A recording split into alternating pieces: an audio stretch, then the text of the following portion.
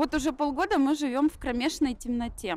Администрация Ивниковского поселения не обращает на наши просьбы и письма никакого внимания. Одни отсылки, отписки и отговорки.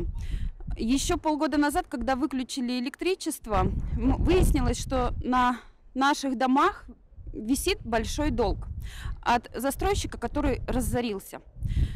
Об этом знали очень давно и почему-то не принимали никаких мер. Электричество у нас работало до 8 июня. Никакая энергосбытовая компания, ни администрация Ивниковского поселения не обращали внимания на то, что разорившаяся организация не передала наши столбы и копила долги. Сейчас эти долги предлагают оплатить нам, жильцам наших дворов. Суммы варьируются от 150 тысяч до 1 миллиона 800 тысяч рублей. Мы уже не знаем, как быть. Кому вы обращались по этому вопросу и какие предписания и какие, скажем так, заявления давали вам официальные органы? Может быть, прокуратура, администрация и сама сбытовая компания? Конечно, мы обращались и в администрацию Ивниковского поселения, и в прокуратуру.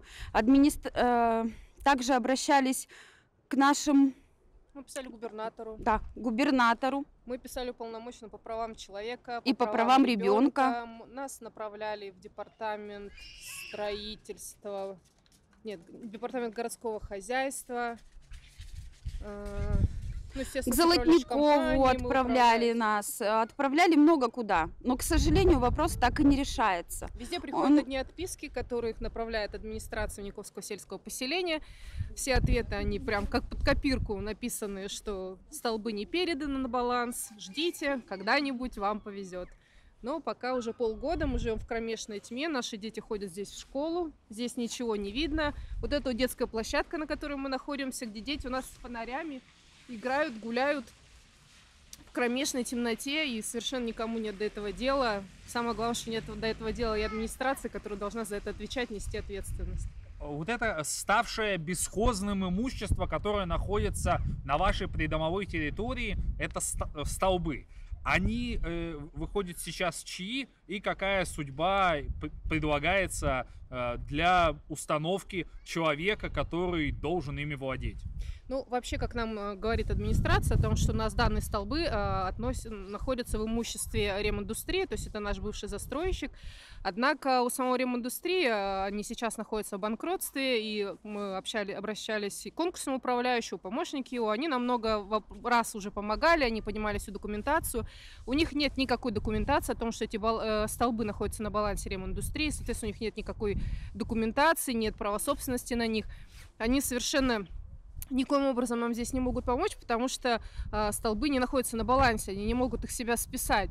Э, соответственно, не на балансе застройщика, не на балансе а застройщика. и не на балансе администрации. Совершенно верно. То Более того, они ничьи? Да, более того, у нас многие столбы находятся совершенно на разных земельных участках. У нас э, как бы вся придомовая территория, она находится в рамках двух земельных участков, а столбы стоят и на частной собственности, и на э, соседнем земельном участке, который вообще принадлежит, принадлежит третьему лицу. То есть все столбы стоят совершенно на разных земельных участках, физических лиц, юридических лиц. Поэтому говорить о том, что их не передал застройщик на баланс, администрация не может их э, взять на баланс. Например, у нас э, ресурсоснабжающие иные компании, такие как телекоммуникационные, они прекрасно пользуются этими столбами, и ничто им не мешает. И прекрасно признают да, их общедомовым да. имуществом. Администрации точно так же ничего не мешает провести новую линию электропередач, ТГК «Энерго», то же самое сделать, повесить новую линию и пойти прекрасно в банкротство, списывать свои долги, которые якобы накопил предыдущий застройщик.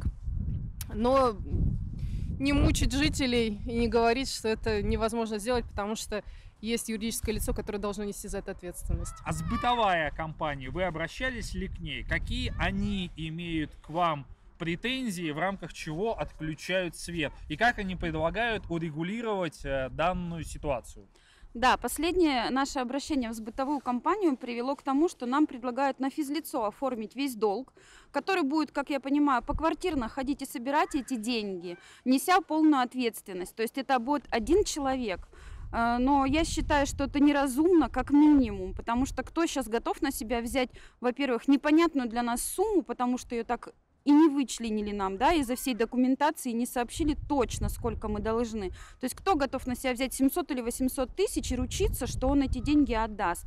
То есть они нам говорят открытым текстом, да, мы готовы вам предоставить новый счетчик и все докумен... всю документацию для дальнейшего решения вопроса только после оплаты этого долга.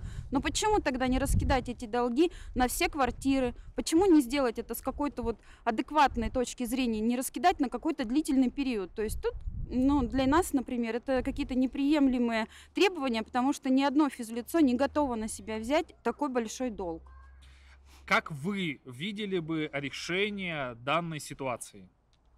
Мы уже готовы, наверное, к любому вопросу, как и к альтернативному освещению на период передачи столбов, также и может к какому-то решению, когда эта сумма будет разделена на все квартиры, на всех жильцов, и может быть на какой-то там, на период 3-4 месяца, чтобы мы могли это планомерно выплатить. Но, конечно, еще речь идет о том, какая это сумма. Мы до сих пор не смогли этого добиться ни от одной организации. Какая же точная сумма долга? Опять же, мы должны вернуться к тому, что у нас все-таки уличное освещение, оно находится в полномочиях администрации местного сельского поселения, да, то есть в данном случае это администрация Николского сельского поселения. Поэтому повесить на жителей дома какую-то там баснословную сумму, которую они должны будут выплатить неизвестно за кого, неизвестно по какой причине. Более того, э, на протяжении, наверное, двух лет, которые мы проживали здесь, у нас столбы горели круглые сутки. Летом, зимой, осенью. Никто не заморачивался, почему они горят. То есть ТКК «Энерго», собственно, самостоятельно накопила это, эту задолженность. Они не предпринимали никаких действий, они не, выявили, не обращались к застройщику, не обращались в арбитражный суд. То есть они не делали ничего. А сейчас, собственно, нам предлагают погасить чью-то задолженность, хотя это как бы обязанность администрации снабдить нас электросвещением, да, следить за безопасностью как бы нашего имущества, наших детей, взрослых людей. У нас здесь идет рядом стройка, дети бегают, ничего не видно, то есть безопасность на текущий момент не обеспечена никем. Даже прокуратура, к которой мы обращались, я лично разговаривала с прокурором, я говорила, кто будет тогда отвечать за нашу безопасность, готовы ли, соответственно, вы за нее ответить, если у нас нет этого освещения, вы говорите, что администрация там не может в данный момент что-то сделать. Ну, мне промолчали, соответственно, сказали, ну, мы попробуем с ними еще раз поговорить. На том, собственно, разговор с прокуратурой закончился. Когда это был этот разговор?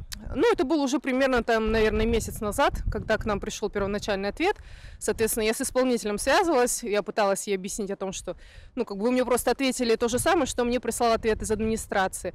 Она говорит, ну, они этим вопросом занимаются, мы, конечно, будем пытаться их контролировать, но на текущий момент это как бы все, что вот мы сможем вам ответить.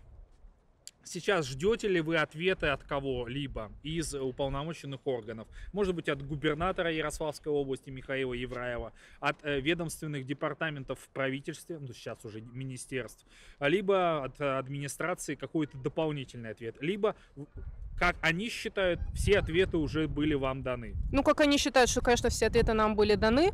А, где-то ну, примерно... еще развернутый ответ от администрации. Какая все-таки с июня месяца проделана работа? Какая документация собрана?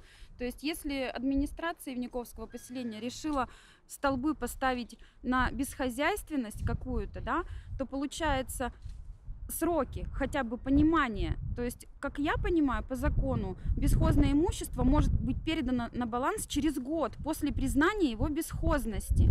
Когда этот момент признается бесхозным, почему он признается бесхозным, нам опять же непонятно. Потому что столбы находятся на территориях, Последний, кому мы, соответственно, обращались, у нас был омбудсмен по Ярославской области по правам человека, омбудсмен по правам ребенка. Ну, на текущий момент пока мы ответа не получили, хотя как бы уже 30-дневный срок, на который полагается для административных ответов истек, но мы надеемся, что хотя бы с их стороны что-то еще придет.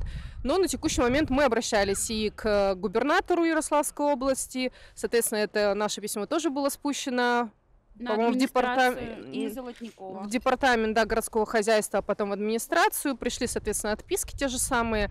Ну и, собственно, все пока. Спасибо вам. Вам спасибо. Спасибо.